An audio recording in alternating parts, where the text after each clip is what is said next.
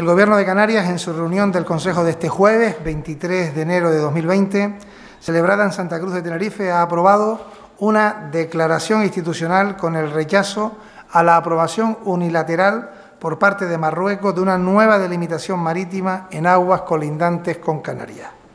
Esta declaración oficial manifiesta lo siguiente. Uno,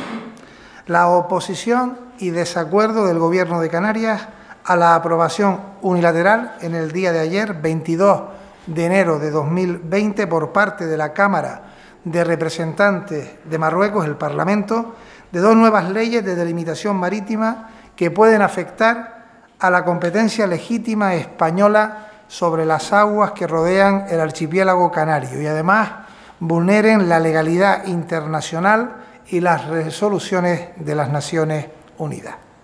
El punto segundo, la necesidad y obligatoriedad legal de que Marruecos respete en la delimitación de las aguas marinas que comparten España y Marruecos en el Atlántico Oriental Africano alrededor de Canarias los derechos e intereses canarios y estatales en el espacio marino objeto de delimitación dentro de la zona económica exclusiva y la plataforma continental. Tercero, el Gobierno de Canarias valora las acciones diplomáticas desplegadas por el Ministerio de Asuntos Exteriores y de su titular, la ministra Arancha González Laya, en relación con este asunto. De manera especial, la afirmación tajante de que no habrá delimitación efectiva por parte de Marruecos de aguas colindantes entre los dos países hasta que se produzca un acuerdo previo sobre el reparto de esas aguas por parte de los dos gobiernos.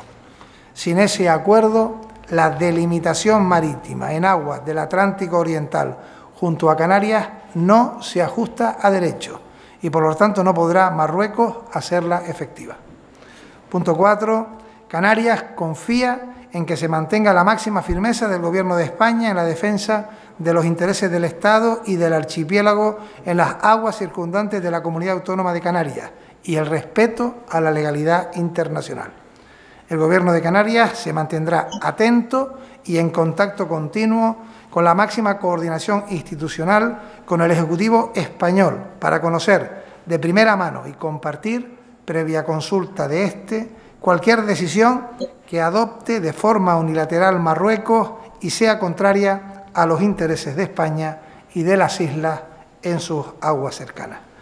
Está firmada esta decisión institucional el día de hoy, 23 de, agosto, de enero perdón, de 2020, en Santa Cruz de Tenerife.